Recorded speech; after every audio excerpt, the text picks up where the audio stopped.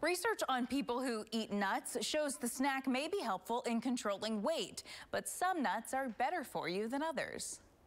It's true that nuts are high in calories, but in several studies, eating a handful a day was associated with weight control. Dietitian Erin Gussler insists it's a good snack, but keep it to one handful. Now, not the claw where it's overflowing, right? But a handful. Her favorite nuts for snacks are Brazil nuts for the disease fighting function. These have more selenium than any other nut, a mineral important for thyroid function and reproduction.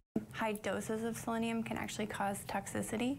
So I usually recommend if you are going to do Brazil nuts, three to six a day. Gussler says most nuts are great to get your micronutrients. In addition to protein, fiber, and healthy fats, nuts also supply a decent amount of magnesium, potassium, and vitamin E. Almonds are the nut's highest in fiber. Gussler also loves cashews, which can help with eye health. Walnuts are a good source of omega 3.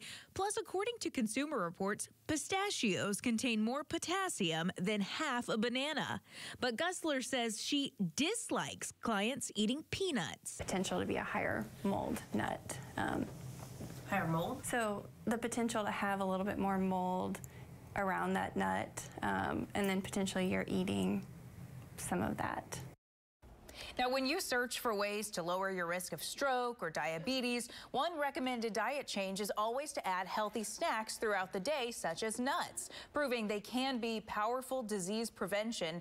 Just don't cover them in chocolate or eat them in a sugary trail mix, which is, of course, when they're best. I saw a plate of cookies in your story, so I'm just going to go with cookies. you were not it. listening. No, you I was just, just watching. watching.